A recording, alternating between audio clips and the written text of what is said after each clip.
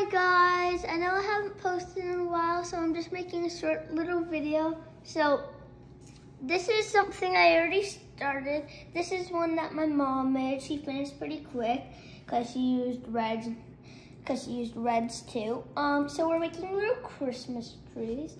All you need is joy sugar cones or any type of cone you would need. And you'll need these M&Ms or just green M&Ms. And you can use, and then you need this.